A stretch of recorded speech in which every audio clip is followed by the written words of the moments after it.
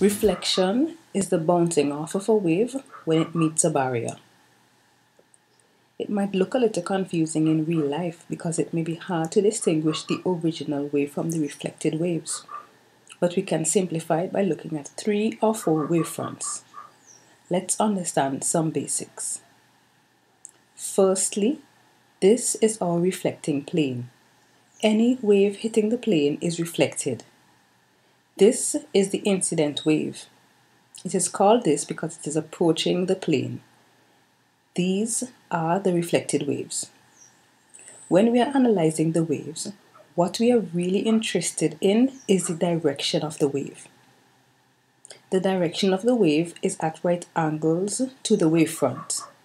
So for even more simplicity, we can ignore the wavefront and concentrate on the wave direction. But let's bring back the wavefronts for now. Wherever the incident waves meet the reflecting plane, there is a normal.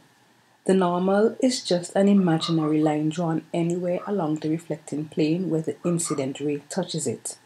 It's really just used to set up your bearings so you can make some measurements.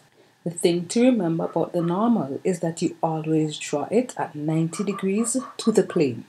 Remember, it doesn't exist at one place. It's imaginary and occurs anywhere the incident ray touches the plane. The angle of incidence is the angle between the incident wave and the normal. So that's this angle here. Similarly, the angle of reflection is the angle between the reflected wave and the normal. This one here. Multiple experiments show that the angle of incidence is equal to the angle of reflection. This is what is called the law of reflection.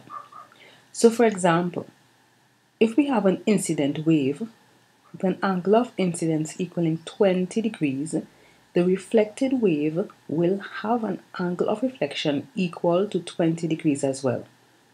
If we have incident waves with an angle of incidence equal to 67 degrees, the reflected wave will have an angle of reflection also equal to 67 degrees.